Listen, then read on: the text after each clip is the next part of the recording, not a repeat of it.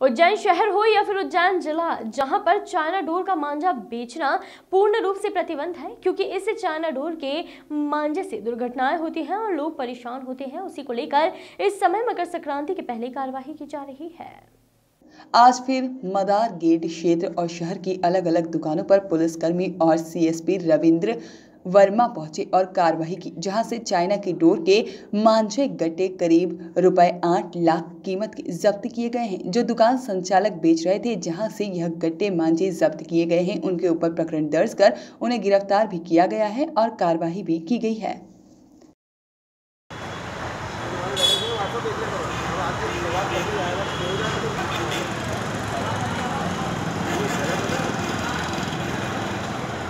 साफ़ साधा नमस्कार